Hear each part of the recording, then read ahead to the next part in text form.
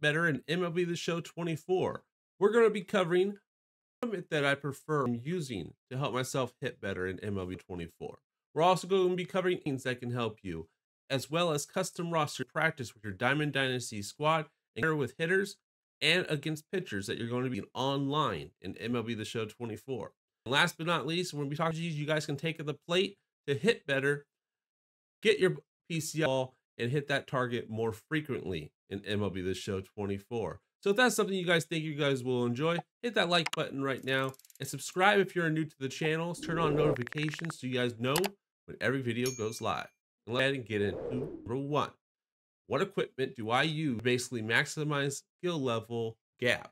And the console that I play on, because for this game, it does kind of matter slightly. I play on a GameSir 7 SE controller that is only on Xbox. And I also play on Xbox has less input delay on controller. Well, aftermarket than a PlayStation does. On top of that, update in December that allows you to overclock it to 1000 hertz, making it the only controller you can possibly overclock on a console. Already, this controller is 50 hertz, refresh rate and response time, which is already faster than a lot of controllers that are like 150 to 200, especially blue wired. Some of those controllers are not the greatest. And a lot of the good controllers are very expensive. This GameSir G7S is not. Now, what it means it's a faster response 50 to 1000. That's four times faster. So when you click A on a or whatever button you click on this, it is going to happen on your monitor or TV four times faster than it would with another controller. Now, about TVs, you should not, if you want to play competitively, obviously, if you're a casual player, don't worry about it. But if you're trying to like compete in ranked seasons or in tournament eventually, or you just want to be a competitive player, I would recommend buying a monitor with a like a one millis uh,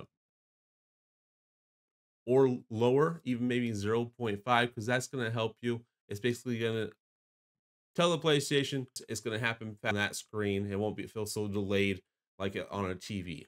Once you go from a TV to a, it's literally a night and day difference. And if you're on PlayStation 5 or X or the newer X's, you can also do 120 hertz. So make it a 120 hertz monitor at a refresh rate of one second or lower. 1440p, 1080p does not really matter. I've used both. Don't really tell the difference between those two. It's all about the 120 hertz. Called control freaks. What are control freaks? Don't forget the precision rings right there. So the control freaks that go on the tick, the ones right here, the black precision rings underneath it will have more micro movements. Barely move your PCI, it will display that in game. And then the precision rings are going to be where you don't drop your PCI as much. So if you drop your PCI a lot, more micro adjustments. Control freaks are a huge tool. I've been using these control freaks since I believe 2007, 2008 when they first launched, back when I was playing Call of Warfare. And once I got used to them, I can't really play most games without them because I'm just so used on my controllers. They do take some time to get used to. Think that you're going to be instantly better as you use them. You do have to get used to them and, of course, practice with them. Number two. So what we're going to do here competitive legend you guys want to practice on or play on. I would always practice on one difficulty higher than what you play on uh, currently online or just practice on legend. If you want to bet on legend you could probably adjust to hit on any difficulty right? So i don't really play it hard so i'm not going to practice on legend in this video but typically i would but i want to like show it off a little bit better than that. Anyways practice on camera hitting view strike zone high or strike zone are the most two most competitive hits that you guys will use. Any most competitors will, especially top 50 players, will use either strike or strike zone high.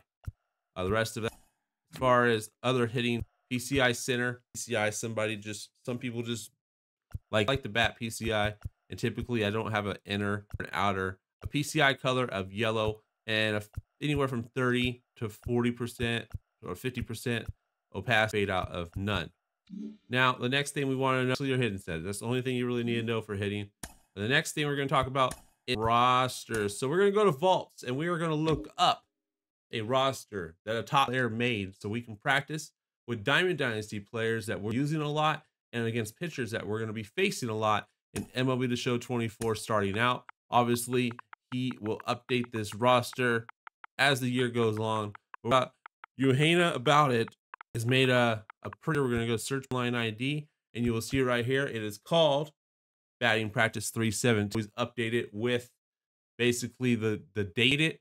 So you on in the description down below says hit with the Yankees and face the Red Sox. So you will go ahead and download this. I already have it downloaded up to create and you are going or not to create. You're going to go to settings. You're going to go file management. You are going to load that roster, save roster, badges. We're going to go ahead and load roster so we can hop into custom mm-hmm. practice with that roster and then talk about everything else. He is a top 50 player. He made this roster and updated it throughout the season. So be sure to check him out on YouTube, Twitch, TikTok. You ain't definitely be able to find him. So now we're going to go over to custom rosters and we are going to go to box, right? That's who's pitching. And then we're going to be the New York Yankees because that is who's. And then stadium right now. Typically going to play online at just so you can just practice what it feels like to hit in that stadium. But for this, we're just going to hop and guys show it off a little bit. Our uh, press start. We're going to go to practice type and you're going to click on batting. Now, obviously Bernie Williams, Beltre, Babe Ruth, Mike Trout, Rafael Palmeiro, Gibson, Seager, Betts, Buxton, Acuna. You got pretty much all the big names that you're going to be seeing. We got pitchers, Santana, Randy, Randy Johnson, Donaldson, Paul Skenes, Emmanuel Clase. Good stuff right there. Obviously, probably like Donaldson would be a good person to face against. And make them throw strikes if you just want to practice against strikes. If you don't select anything, they can throw in, in any location. For this video, this purpose is throw strikes so we have a chance to hit it. We're not going to worry about our eye right now. That's a good way to start. So like any pitches you specifically struggle with, like inside pitches, you can pick the inside pitches. Let's say you struggle with inside sinkers, you just throw sinkers and turn everything off and just practice those inside sinkers that you struggle with. So that's really, really cool about this, about this is you can practice on pitches that you may struggle with. So just keep that in mind. The settings down here is that these, you can change a lot of them and just keep on. Now, here comes, this is the hardest part, especially because like every pitcher is gonna be, you want to take pitches as much as possible, right? So you also want to see where release point because that's where you want to be looking. That's where your eye needs to be when the ball's coming out. So his release point looks to be like right here. So that's where your eyes are at. That's not where your PCI is at because if your PCI right there, what happens? You can't then you can't see them out, right? If I leave leave my PCI right there, I'm not going to be able to see the ball leave his hand. We need to see it so we can react to it faster. So another thing is we want to make sure that we don't know if he's throwing fastball, changeup. We don't we don't know, right? Don't even swing. If you're trying to track the PCI swing, just track the baseball. So see, see I'm move my PCI to the baseball. I'm not even swinging. I just want to practice my tracking. So don't swing, just practice. It might not be the greatest. I also have my PCI to 30%, so maybe it's hard to see my PCI as well. But just track the baseball. And then when you should feel do that about times, and then once you start more feeling more comfortable that you're tracking the baseball really well, then you start actually taking the swing, seeing if it's improved, right? But the biggest thing is to watch what it's going to be no matter who you're facing. That's going to change depending on the pitcher, depending on where the release point is. Are they a sidearm pitcher? Are they a submarine pitcher? What are they? That's going to determine where you are looking for the baseball at. In this case, I'm looking right there.